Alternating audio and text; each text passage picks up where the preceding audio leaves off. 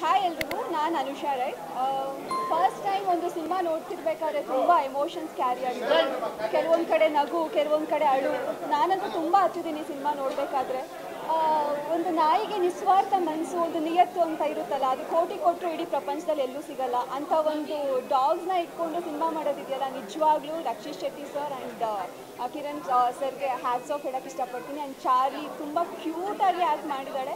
Very sweet ತುಂಬ beautiful ಆಗಿ ತುಂಬ ಆ್ಯಕ್ಟ್ ಮಾಡಿದ್ದಾಳೆ. ತುಂಬ ಇಷ್ಟ ಆಯಿತು ಅವಳು ಮಾಡಿರೋದು.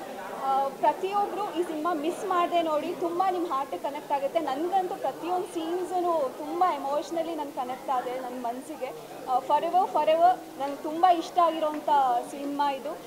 ದಯವಿಟ್ಟು ಯಾರೂ ಮಿಸ್ ಮಾಡದೆ ನೋಡಬೇಕು. ಯಾಕಂದರೆ ಪ್ರತಿಯೊಂದು ಸೀನು ಕೂಡ ಹಾಗೆ ಇದೆ. ನಾನು ಕೂಡ ನಾಯನ ಸಾಕಿದ್ದೀನಿ. ಎಲ್ಲ ಎಮೋಷನ್ಸ್ ಅದಕ್ಕಿರೋ ಫೀಲಿಂಗ್ಸ್ನ ಅರ್ಥ ಮಾಡಿಕೊಂಡು ಸಿನಿಮಾ ಮಾಡೋದಿದೆಯಲ್ಲ? ರಿಯಲಿ ಗ್ರೇಟೆಸ್ಟ್ ಥಿಂಗ್ ಅಂತಲೇ ಹೇಳ್ಬೋದು. And thank you so much ಇಂಥ ಒಂದು ಸಿನಿಮಾ ನಮ್ಮ ಕನ್ನಡ ಇಂಡಸ್ಟ್ರಿಗೆ ಕೊಟ್ಟಿದ್ದಕ್ಕೆ ದಯವಿಟ್ಟು ಯಾರು ಮಿಸ್ ಮಾಡ್ಕೊಂಡು